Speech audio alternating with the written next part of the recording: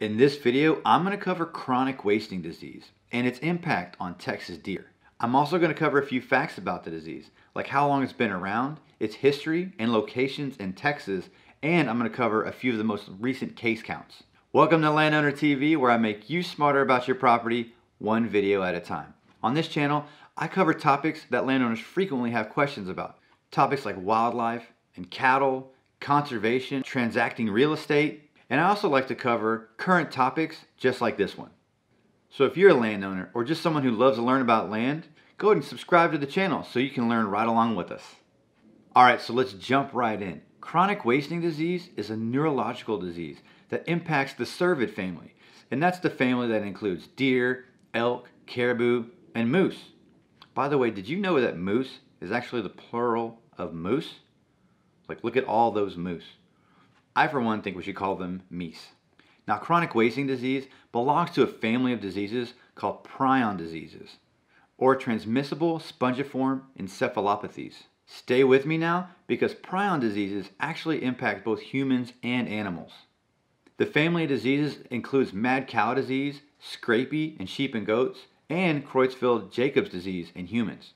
Now, a prion is a type of protein that causes other normal proteins in the brain to fold abnormally. Issues begin when certain types of prions begin to accumulate in the brain and other tissues, and they begin to cause neurological distress, emaciation, and then ultimately death. Now, in the case of chronic wasting disease, transmission occurs when a healthy animal encounters prions that have been shed from an unhealthy animal. And this can come from the animal's saliva, blood, feces, urine, or the carcass. The problem is that these annoying prions can persist in the environment for a very long time, requiring sound mitigation strategies to combat the spread of the disease. And according to Texas Parks and Wildlife, fully eradicating the disease becomes impossible once the disease has become established in a localized population. And this is quite frankly a huge pain in the ass and the reason that researchers and state agencies are taking it so seriously. Now, chronic wasting disease was first discovered in the U.S. back in 1967 at a captive deer facility in Colorado. And since then, it's spread out through the United States and also Canada. Check this out. You can see that it's currently most pervasive in the upper Midwest, the western Great Plains, and the southern part of Canada. Now, the disease was first detected in Texas back in 2012 in some free ranging populations of mule deer out in West Texas in an area called the Hueco Mountains. Yes, that is pronounced Waco. Now, the first actual whitetail with chronic wasting disease was discovered in Texas in 2015 at a captive deer facility in Medina County. And that's a really cool county just west of San Antonio. Now, after it was discovered at that facility, additional facilities in the area were then tested. And subsequently, it was found that four additional facilities in the area and two deer release sites were shown to have chronic wasting disease. And according to an article by the Cesar Kleberg Wildlife Research Institute in South Texas, which by the way is a really cool research institute for any of those of you interested in deer and quail or anything in South Texas you want to find information on, go to check out that website. But they have research that indicates that chronic wasting disease was then found in free ranging populations in Medina County just two years after the first case was discovered. Now, since we found that first diseased mule deer in West Texas back in 2012, Texas has now documented over 270 cases. At least that's through 2021. And I charted out right here the total case count by year by species. And as you can see, the vast majority of species impacted by chronic wasting disease in Texas have been white-tailed deer, with about 78% of total cases overall.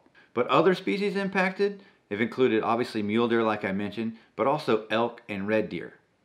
Another way to look at this information is to really break it out between a portion of cases that have been found in captive facilities versus in free-ranging populations.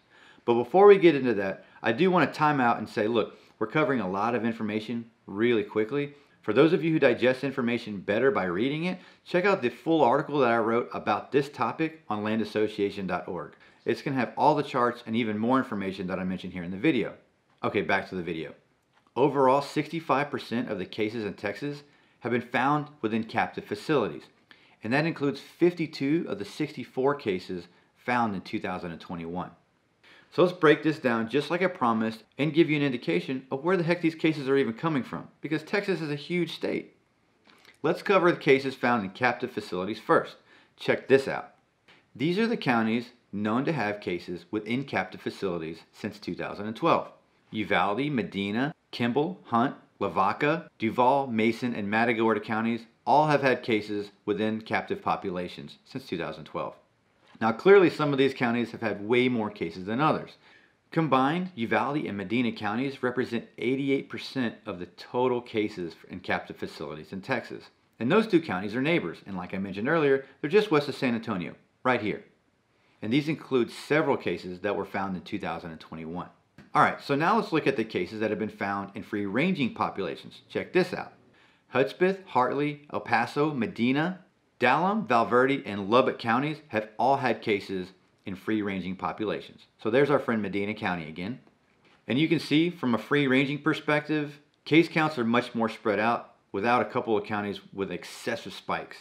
Okay, so now you know what chronic wasting disease is and where it's been in Texas. So what the heck are we doing about it? Now, you may have noticed from that USGS map that I posted just a minute ago that there are a few hotspots in North America and Texas, comparatively, seems to be pretty cool.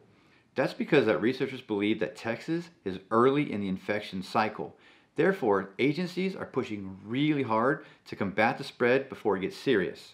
Texas Parks and Wildlife seems to be leading the charge here and have implemented testing and reporting sites for those hunters who harvest whitetail, mule deer, or any other species susceptible to chronic wasting disease in Texas. And these precautions have already been underway in the Trans-Pecos, the Panhandle, and the South Central zones of Texas. These areas are known as chronic wasting disease surveillance and containment zones. And if you're a hunter in these zones in Texas, you have to bring your animal to a check station within 48 hours after harvest.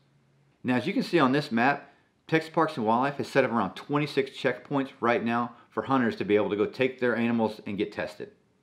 I'll mention too that Parks and Wildlife has also implemented some carcass movement restrictions around Texas to prevent the spread of the disease. And essentially, for cervid species like I just mentioned, it limits either bringing pieces of the animal in or out of the state or in and out of some of those zones. There's a whole list of regulations that I won't get into for the purpose of this video, but if you do have questions about them, here's where to go. Texas Parks and Wildlife has a dedicated chronic wasting disease page that covers all of these things, including information about the checkpoints. For even more information about chronic wasting disease, you can go to the CDC website or go check out some of the information that I mentioned before that the Cesar Kleberg Wildlife Research Institute has put out. I'm a big fan of theirs, in case you can't tell. Hey, I hope you found this video informative. I couldn't cover all of the details, but I did the best job I could. If you have more questions, feel free to reach out or leave a comment in the video. And if you're wanting to learn even more about land in Texas, please hit that subscribe button so we can see you on the next one. Thanks so much.